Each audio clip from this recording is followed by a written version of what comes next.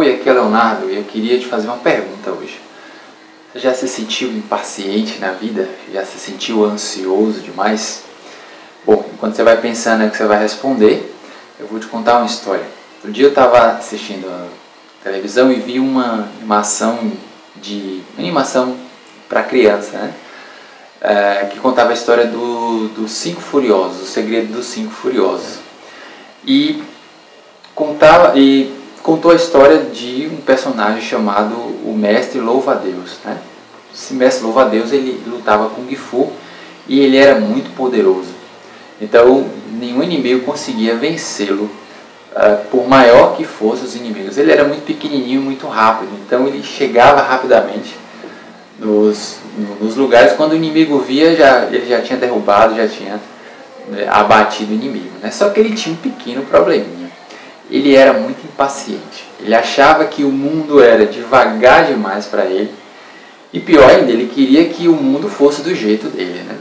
Até que um belo dia ele foi chamado para uma missão né, por umas ovelhas, umas, uns aldeões lá, umas ovelhinhas que é, a carga de, de cobertores deles foi roubada por uns vilões, por uns crocodilos. E ele pediu louva a Deus para poder resgatar essa carga. Então vai o louvo a Deus. Quando ele encontrou o esconderijo dos, dos, dos crocodilos, na mesma hora surgiu uma armadilha, né, uma gaiola, e prendeu ele nessa gaiola. Então, na hora ele falou assim, poxa, mas ninguém me avisou da gaiola? Mas na verdade ele tinha sido avisado né, na hora do briefing, é, que a, o, o aldeão lá passou para ele. Na hora do briefing, falou, olha, cuidado com as armadilhas, mas ele já tinha saído correndo, né? E não acabou não ouvindo esse pequeno detalhe que ia fazer toda a diferença. Então, uh, ele ficou preso ali naquela gaiola e não tinha o que fazer. E ficou horas, dias, meses e o tempo passou muito e ele ficava ele acabou ficando por um tempo muito longo ali naquela naquela naquela gaiola preso e um belo dia, quando ele estava olhando para o teto e deu um pequeno clique na, na, na, mente dele, e com isso veio uma grande ideia.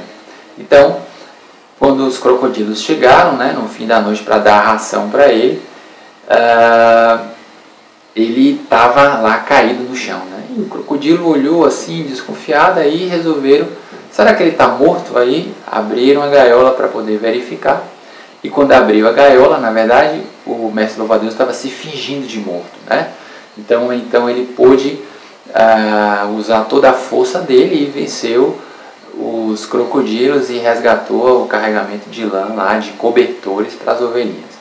Então, nesse momento, ele fez um, um esforço muito grande, porque a impaciência ou a ansiedade ela não deixa a gente, a gente não se sente muito confortável em ficar parado muito tempo quando está se sentindo impaciente. Então ele reuniu toda a força dele para poder botar aquele plano em ação e soube esperar o tempo certo. Né? Porque ele ficou ali se fingindo de morto, mas ele não sabia em quanto tempo aquilo ia acontecer. Então, essa história ajuda a gente a compreender, às vezes, a importância de esperar o tempo certo das coisas e a importância de, às vezes, ficar parado aguardando determinados momentos. A gaiola representa muitas vezes as prisões que a vida nos coloca. Né? Muitas vezes a gente tem uma grande competência técnica, né? Isso já aconteceu comigo, com, já aconteceu comigo principalmente, a, acontece com meus alunos na, na universidade, já aconteceu com colegas de empreendedorismo e assim por diante.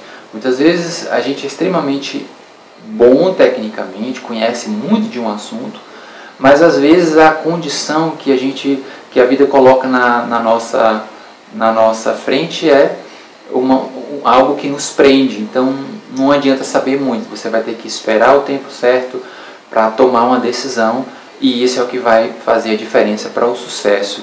Então a dica é pensa um pouco o que que te, o, o que que te faz ser correr tanto? E para onde é que você está correndo tanto?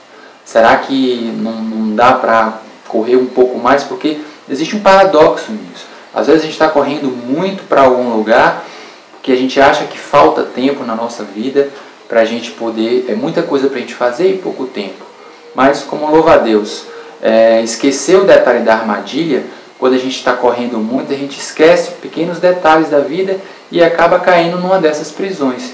E o resultado é que a gente perde muito mais tempo tentando recuperar algo que foi perdido do que efetivamente o tempo que a gente ganhou. Então, fica a dica para você refletir aí sobre a importância da paciência.